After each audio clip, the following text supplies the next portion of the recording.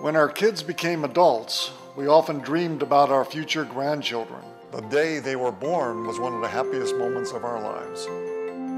Finally, holding them in our arms, their tiny fingers wrapped around ours, is something we'll remember forever. Watching our son become a wonderful father has been an amazing gift. When he told us he was gay, we thought our dreams of becoming grandparents had vanished. But we were wrong.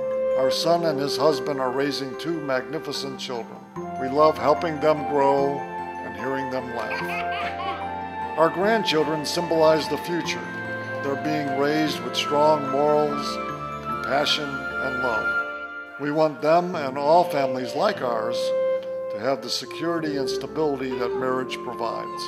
It may not be the family we had imagined, but it is the family we have and love. We wouldn't change it for anything.